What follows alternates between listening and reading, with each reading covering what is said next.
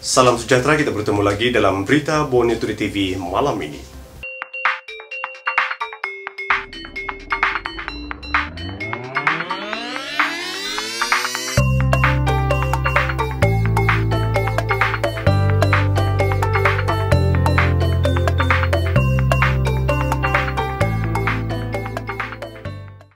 Empat daerah di Sabah mencatat kes positif baru COVID-19. Kota Kinabalu dan Keningau masing-masing mencatatkan dua kes positif baru, manakala satu kes baru di Tawau dan Tuaran. Dengan peningkatan enam kes positif baru hari ini, jumlah kumulatif kes positif COVID-19 di Sabah setakat ini ialah 266 kes. Tawau kekal daerah tertinggi merekodkan kes COVID-19 dengan 71 kes, diikuti Lahadatu 39 kes dan Kota Kinabalu 37 kes.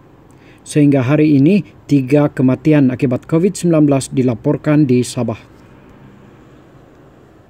Jabatan Kesihatan Negeri Sabah meminta orang awam supaya tidak panik dengan notis yang dikeluarkan pejabat-pejabat kesihatan dari semasa ke semasa yang meminta kontak positif supaya tampil menjalani saringan COVID-19.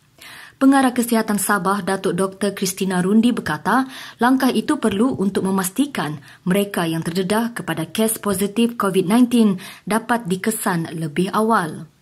Dalam satu kenyataan semalam, beliau berkata Jabatan Kesihatan Sabah amat menghargai usaha orang awam yang menghubungi pejabat kesihatan menerusi notis-notis sedemikian yang dimuat naik dalam laman sosial oleh jabatan itu. Mengenai permintaan menyediakan infografik mengikut mukim kerana difahamkan terdapat 14 kes di mukim Kiulu, Datuk Dr. Christina berkata Jabatan Kesihatan Sabah tidak melaporkan kes mengikut mukim.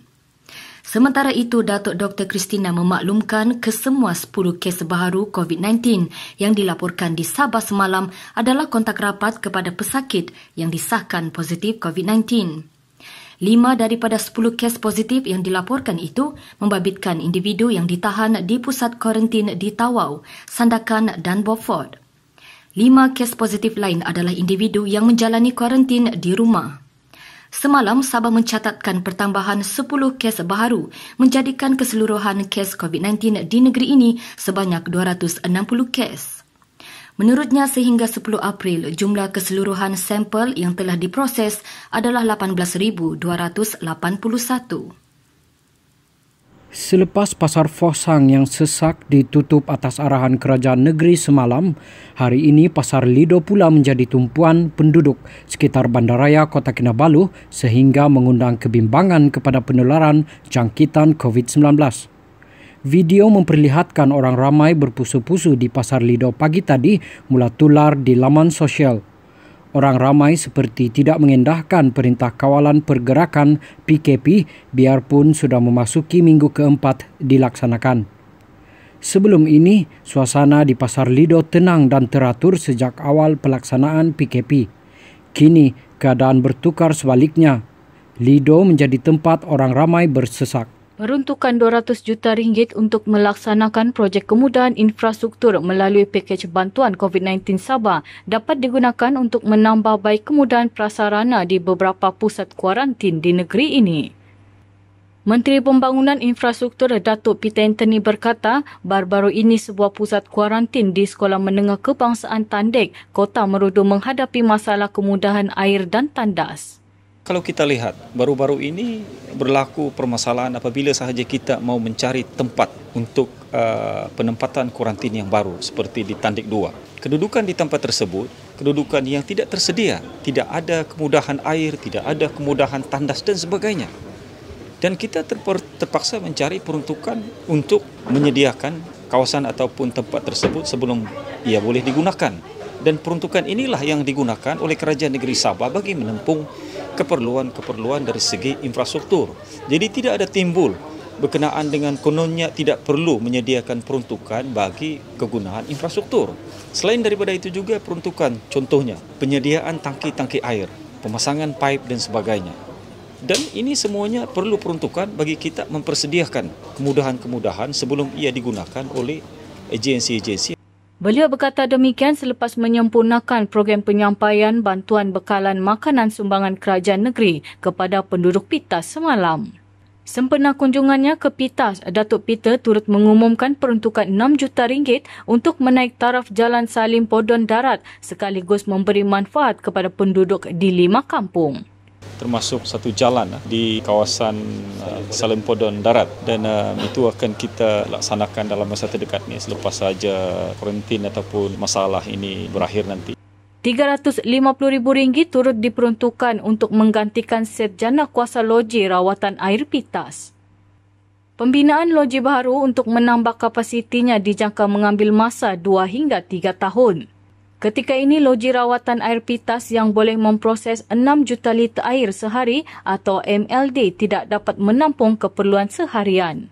Kenaan dengan masalah air yang dihadapi oleh masyarakat ataupun penduduk-penduduk di kawasan pitas ini pun um, dalam lawatan kita nampak tadi uh, di mana kedudukan loji di kawasan Pitas ini sebenarnya sudah melebihi had keperluan. Sepatutnya 8 MLD dan loji tersebut cuma boleh menampung di dalam 6 MLD bagi pemprosesan air. Dan untuk langkah tambahan saya telah minta supaya DE di Pitas ini mempertimbangkan satu kaedah iaitu penambahan tangki storage air kepada uh, 3 MLD sekurang-kurang Kehadiran beliau hari ini macam killing three birds with one stone. Pertama, jalan saya dapat diselesaikan, jalan Salim Podon. Kedua, kita juga berpeluang memberi bantuan kepada rakyat, ha, bantuan makanan, bungkusan makanan. Dan bukan saja rakyat yang ada di kawasan Pintas ini, di PDM, di kampung-kampung. Tapi juga persatuan juga kita beri pada hari ini. Dan yang ketiga, Menteri datang hari ini, dia dapat sedikit sebanyak menyelesaikan masalah air di Pintas temporary measure. Menyahut seruan Kita Jaga Kita, lima sekeluarga di Tawau tampil dengan inisiatif mengedarkan barangan keperluan secara percuma di Batu 17, Kampung Blok 31 bermula Jumaat lalu.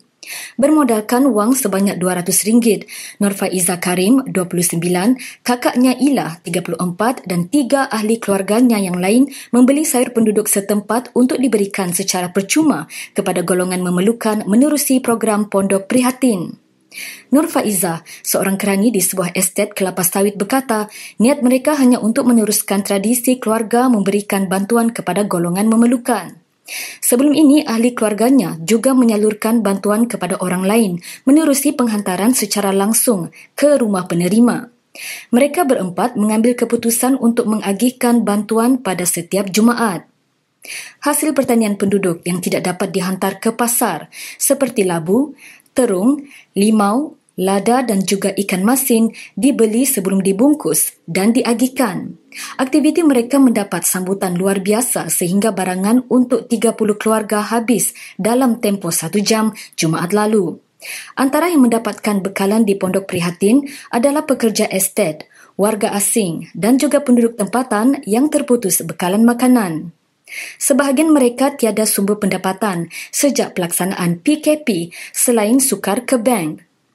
Dengan kawalan PKP yang semakin ketat, masa operasi bank singkat dan banyak laluan ditutup menyukarkan penduduk untuk turun ke bandar mengeluarkan wang tunai. Usaha mereka turut menarik perhatian ramai individu yang mahu menderma wang dan bahan mentah untuk diagihkan. Orang ramai yang mahu menyalurkan bantuan boleh menghubungi Nur Faizah di talian 010 948 3156 untuk pertanyaan lanjut. Walaupun tumpuan kini adalah menguatkuasakan Perintah Kawalan Pergerakan PKP di perairan Sabah, pasukan polis marin PPM Wilayah 4 Sabah tidak sesekali mengabaikan tugas dan tanggungjawab memerangi jenayah rentas sempadan seperti penyeludupan. Semalam tiga lelaki Palau berumur 26 sehingga 40 tahun ditahan di kawasan Laut Tanjung menimpa sempurna bersama tiga perahu yang membawa 1,160 liter petrol yang disyaki cuba diseludup ke negara jiran.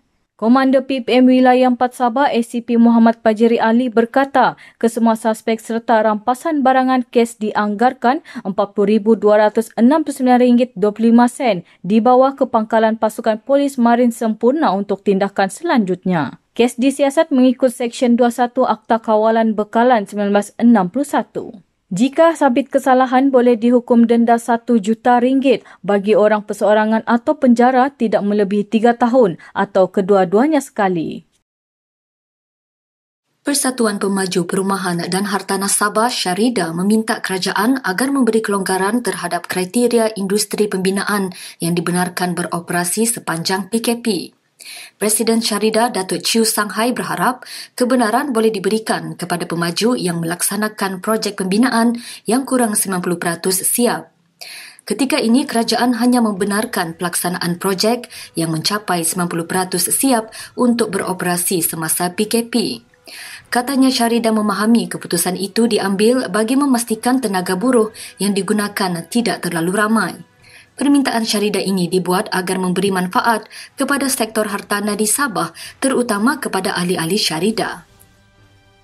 Sekian berita Bonituri TV malam ini. Bagi pihak seluruh kru penerbitan BTTV, kami juga ingin mengucapkan selamat menyambut Hari Paskah kepada seluruh umat Kristian. Saya Sabino Saribun. BTTV.